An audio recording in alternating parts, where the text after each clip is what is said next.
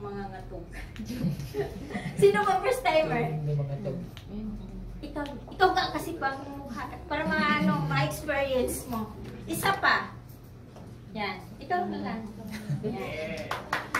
Yan po. Ang ano pangalan mo? Manilyn Renes. Ikaw, ma'am. Chichi. Yan. Ma'am, ito po, ano tayo maghugas. Hugas Ma'am, tayo. marunong ka ngayong maghugas? Ay, yes. Ay, saan nyo pa nang invite sa atin?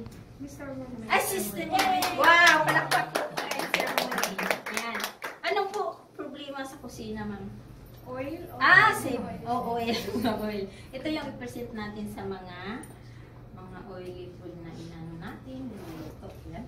Tapos, ano po panghugas mo dati? Before joy. Ah, Joy. Oo nga, mahilig ka alaga tayo sa kaligayahan. Tapos ikaw, ma'am, ganun din. Oo. Siyempre. Tapos ikaw to sa Joy, ma'am. Nangungutag na. Yan po. Nanginginig. Earphone kasi. Yan po.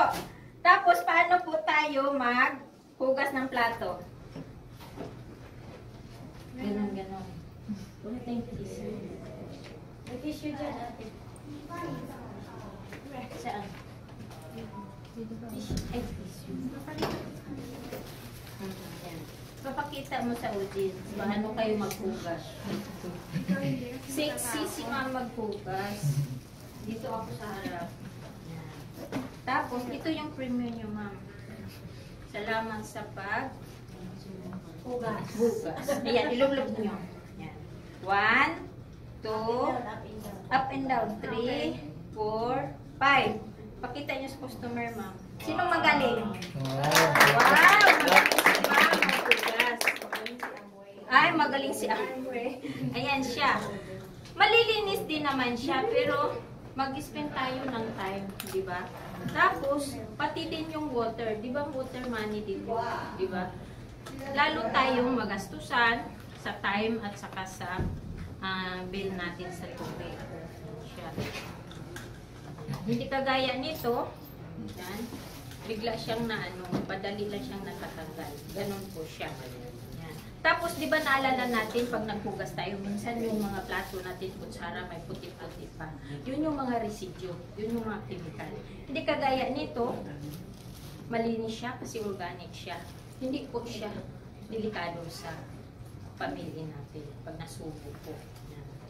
Tapos ang kagandahan nito, pag i-ano mo na to sa lababo mo, pati yung pipeline mo nalilinis. Kasi tinatanggal niya yung oil sa lababo mo. Yan. Kasi ang amoy po, nanalo po tayo sa, kanina, in, ano siya, nanalo po sa environmental friendly. Kasi nakakatulong tayo sa Mother Earth natin.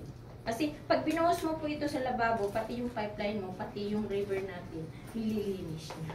Kaya, para din sa future ng generation natin. Yeah. The best po ang amoy, hindi lang sa product, pati din sa people.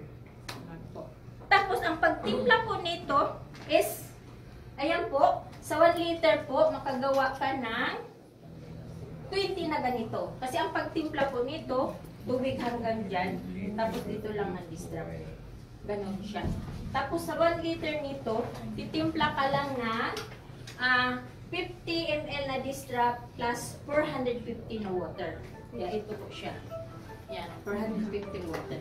Tapos sa isang 1 liter, makagawa ka ng 200, ah, 50 na ganyan. Tapos, pag nanamibio ka, ayan po ang price, ay ito pala yung X-Brand. Dati, anong ginamit natin, di ba, Joy? Joy. Oo. Anong nangyari? Chemical pa, di ba? Sa 20 bottle na ginamit mo, tag 75, magkano 1,500 na. Napakamahal. Tapos anong result? Nakaka-destroy sa health ng pamilya natin. Pati pa sa ah, environment natin. Tapos, samantalang sa amoy, napakaganda kasi nakakatulong ka na pinoprotektahan mo yung health ng pamilya mo tapos at the same time, pwede mo pang maging business. Kasi, pag halimbawa, hindi ka member, ano lang siya, ah 655. Pag member ka, 505 na lang. I-dilute mo siya ng water na 450, yung 1 liter makagawa ka ng 20. Pag member ka, Yun lang, 25.25. Kaya, napakaganda po ang amoy. Kaya, tayo mga misis, yun yung job natin na walang retirement, di ba? Kaya yun po yung ano natin na tayo yung mag-handle sa health ng family natin. Kaya yun lang share ko. Sana may natutunan kayo. Kaya thank you po. Thank you so much. Nga, pero yung mga pesticides, paano na yun? Di ba? Yeah. Kaya tingnan mo, nag-fresh siya, hindi kagaya nito, hindi natatanggal yung mga putik-putik. Mm. Yan. Okay. Kaya, oo. Distract talaga yung Okay. panghugas natin. Eh, yun lang guys. Thank you so much for